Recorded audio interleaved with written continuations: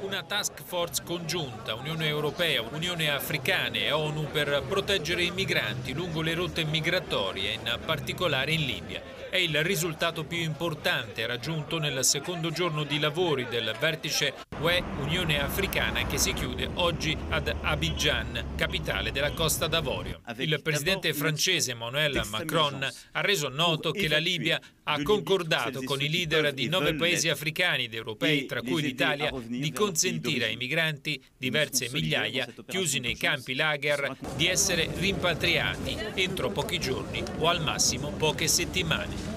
Il premier del governo di accordo nazionale libico, Fayez Sarraji, ha assicurato che saranno consentiti l'individuazione e l'accesso ai campi, all'interno dei quali le persone subiscono continui soprusi e violenze fino a essere vendute all'asta come schiavi, un orrore nel 2017. L'accordo generale tra UE e Unione Africana arriva fino al 2022 e punta allo sviluppo economico con investimenti europei nei paesi di origine dei profughi.